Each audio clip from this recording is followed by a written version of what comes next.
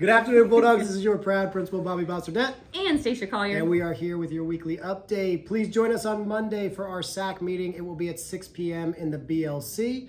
And also 10th and 11th graders interested in dual enrollment for the fall 2023 semester, please refer to our dual enrollment flyer on Schoology and social media to learn more about qualifying. Parents of 9th and 10th grade students, your child's fast ELA progress monitoring data is now available on Skyward.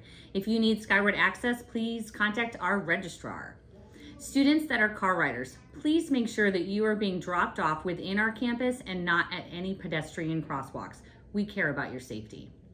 This update is for our future Bulldogs too. If you are interested in being a part of our International Baccalaureate IB program, please join us on Thursday, February 2nd here at 6 p.m. to learn more. We hope everybody has a wonderful and safe weekend. As always, go Dogs.